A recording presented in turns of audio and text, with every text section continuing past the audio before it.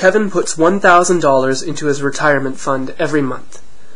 Interest in the account is compounded monthly at a rate of 12% per annum. Initially, he has $30,000 in his account. Write a recurrence relation to represent this situation.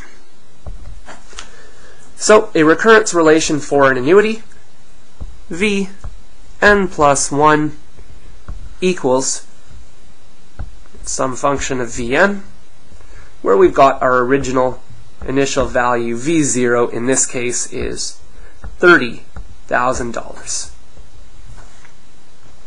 Now the rate is 12% per annum, so rate is our common ratio. That's R, the interest that's being charged. So that's 1 plus R, which is the interest rate per period. That's 12 over 12 over 100 plus, because he's depositing the money into the account, so it's increasing. That's different from a reducing balance loan. And he's putting in $1,000 every month. Use the recurrence relation to determine the amount in his account after three months.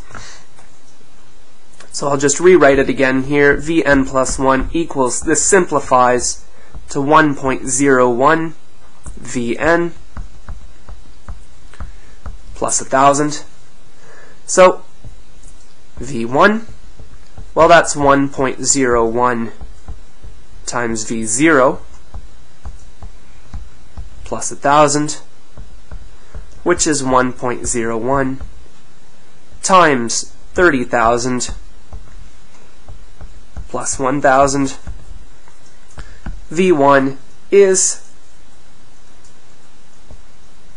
$31,300. Next, V2.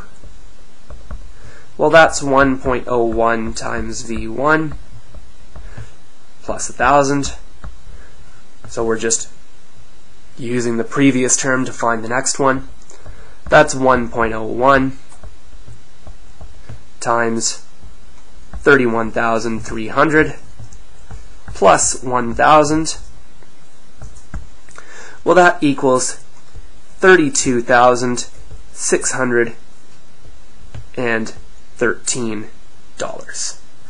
And one more time for V3, we've got 1.01 times V2 plus 1,000, which is 1.01 01 times 32,613 plus 1,000 which when we calculate that